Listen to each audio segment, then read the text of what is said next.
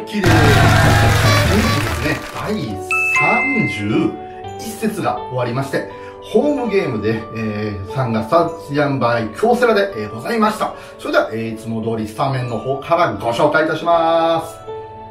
はい、J2 リーグ第31節、京都サンガ対栃木 SC との試合、えー、サンガスタジアムバイ京セラでございました。えー、京都サンガですね、えー、前節ですね、山形に2対0で勝利。えー、栃木の方は水戸との対戦で0対0のドローでしたね。それで、えー、こちら、サンガスタジアムバイ京セラでの試合です。えー、それでは、えー、スタメンの方からご紹介いたします。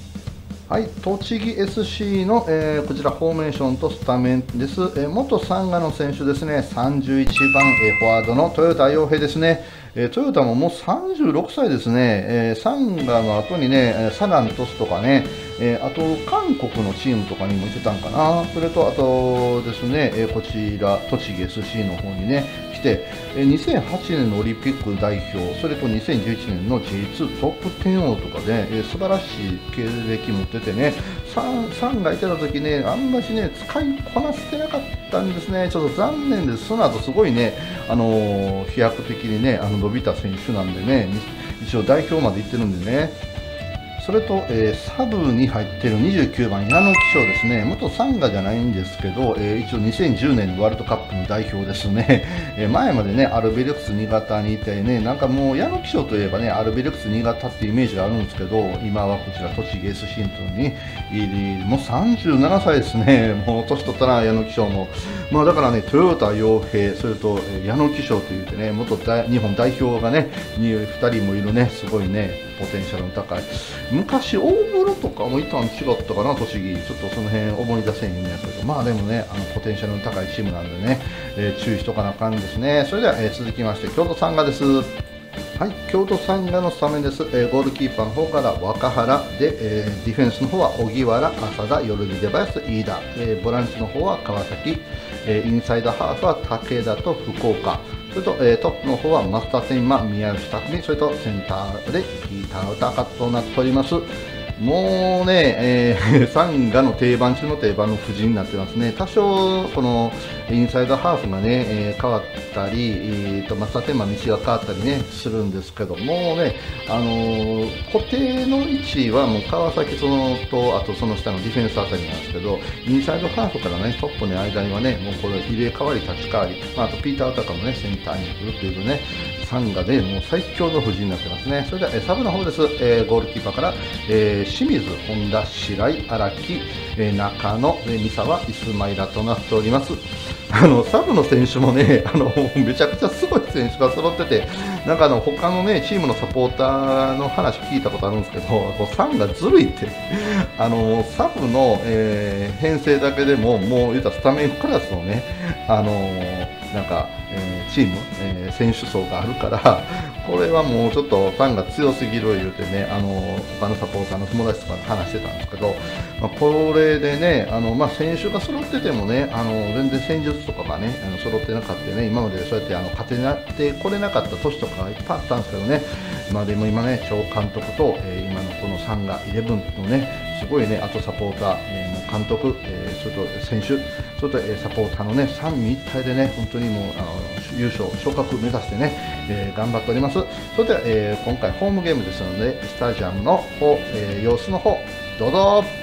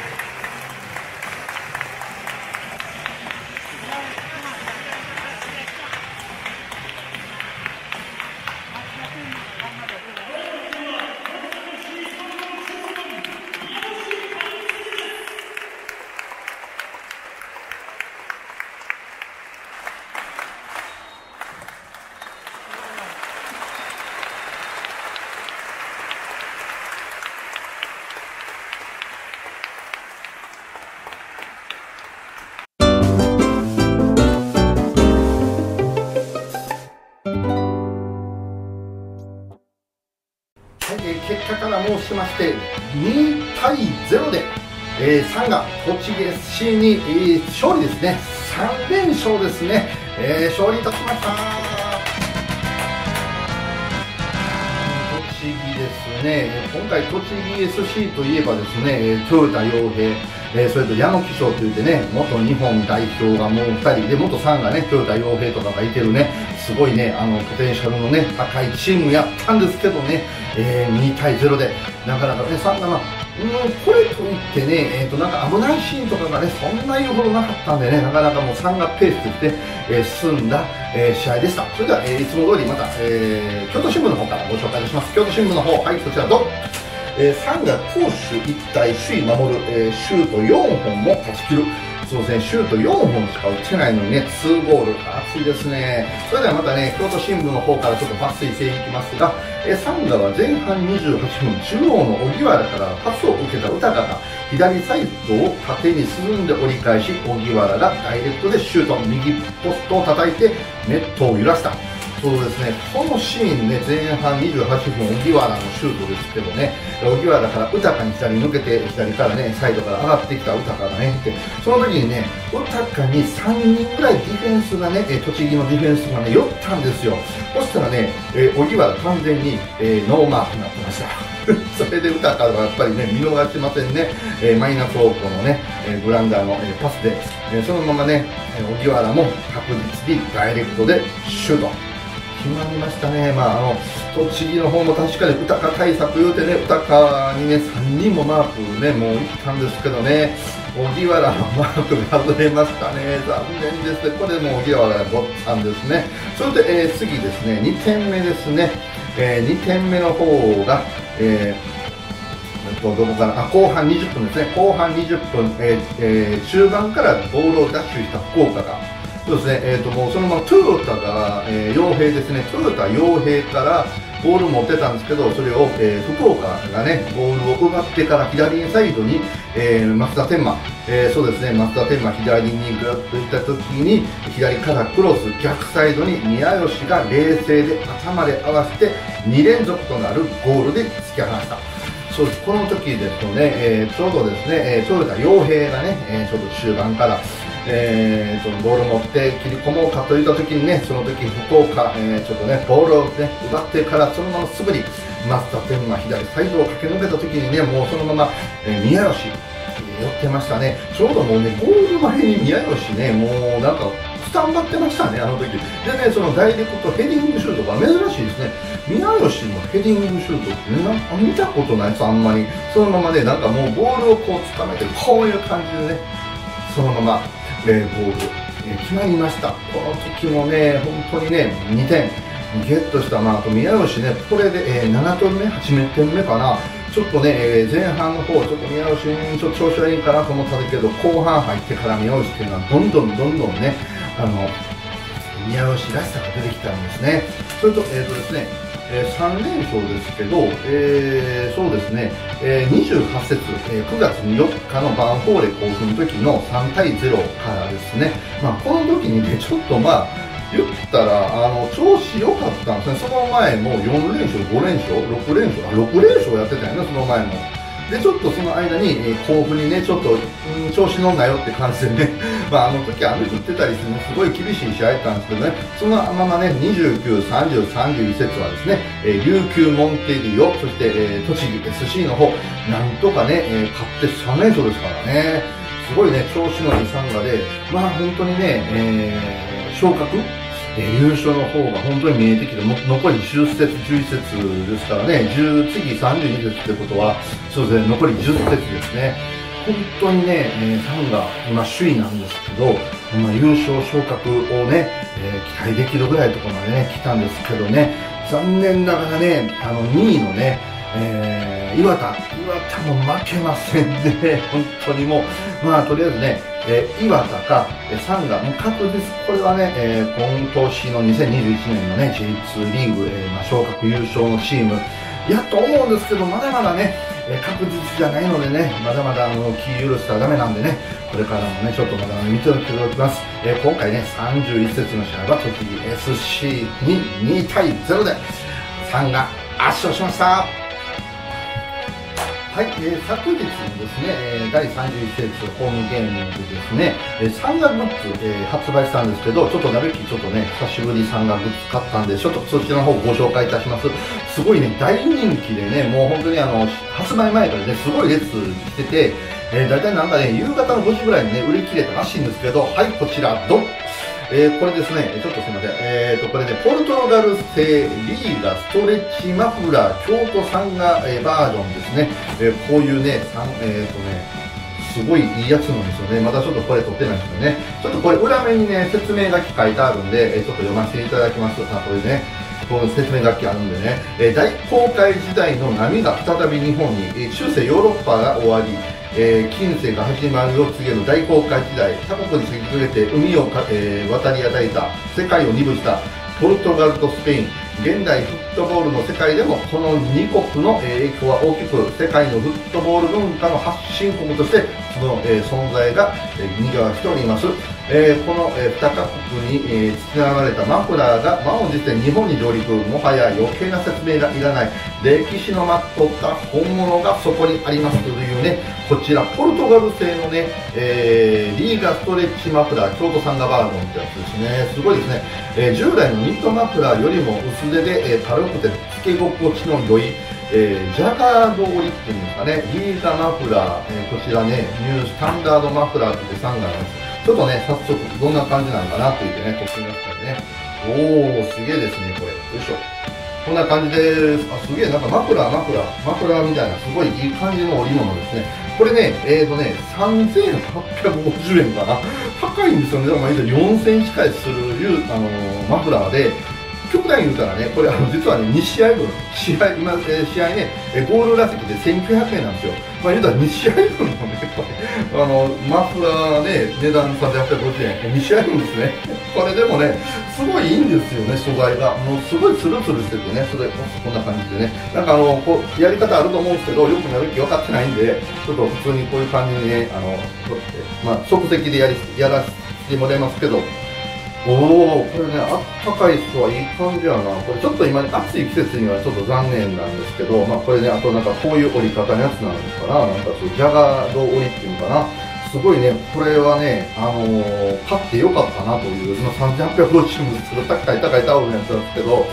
あのこれねあのサンガの時だけじゃなくて普段使いでもねあの使えるなっていうね冬場とかのマフラーとかでね使えるなっていうね一品やったんでこれねすごい今言った通り人気あってあのちょうどね15時ぐらいのね、えー、に行った時にもう列がね50人ぐらいできててそれであのもうちょっとね密になるからあかんからほんまやったらね15時30分ぐらいから販売予定やったんですけどね、まあ、そういうことを鑑みてもうちょっと15時ぐらいからねちょっとあのすぐ、えー、なんていうの前倒し販売っていうのをねしはったでそんでそれでもね人気人気でねあのもうあっちゅう間に売り切れたな一品やったんでねあのこれねなんか毎年とかね2年起きた時にねよくよくこういうのやらはるあのこれあの販売してあるんですけど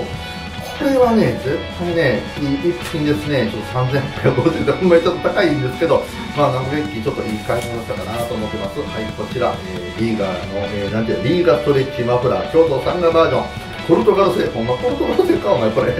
まあ、いいです。これはいいものです。いい品物です。はい、では長々ご視聴の方ありがとうございました。京都丸太 TV チャンネルのなべきです、えー、このチャンネルは京都の食レポや京都サンガのサポーターなので、えー、京都のグルメや京都サンガの魅力的な動画をいっぱいありますので、今のうちチャンネル登録と高評価の方よろしくお願いいたします。それでは、えー、次回です。次回ですね、えー、次回は、えー、10月2日、第32節、えー、バンホール長崎ですね、アウェーなんですけど、長崎もね、今ちょうど、えー、4位、5位、6位とかね、えーまあ、まだまだ優勝ね、優勝というか昇格できるね、チャンスのあるね、えー、位置づけにあるんで、これのね、次節、えー、長崎ですか。これに勝てたら本当にね、もうね、優勝昇格に本当に近づけるね、あの、ね、あの重要な試合となりますので、まあ、アウェーですけど、またガソンとかでね、応援したいと思います。それでは、えー、次回の動画でお会いいたしましょう。それでは、皆様いつも通りお願いいたします。フォルツァ京都頑張れサンダー4連勝やっていきましょう